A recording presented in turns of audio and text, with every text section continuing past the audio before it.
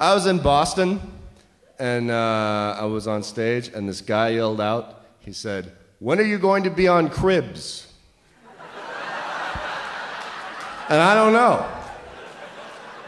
I don't know, but I'm thinking that like the whole genre of the one-bedroom apartment on the Lower East Side has escaped the Cribs radar.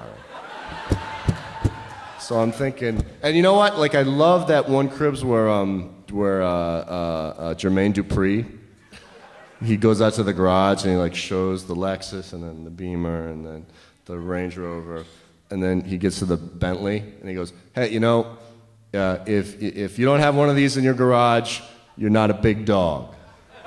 You ain't no big dog. And I was thinking that uh, I should have something like that. And I was looking around my apartment, and uh, I realized that in my foyer, I have a bucket of shoes. It's like a bucket. It's got like eight pairs of shoes in it, old pairs of shoes. And when the Cribs crew comes over, I'm gonna be like, you know, if you don't have a bucket of shoes in your foyer, he ain't no big dog. I'd like to play for you now a song written by a four year old. It's a song written by a four year old and it's called Fire Truck. And it was written by a four year old and it's called Fire Truck.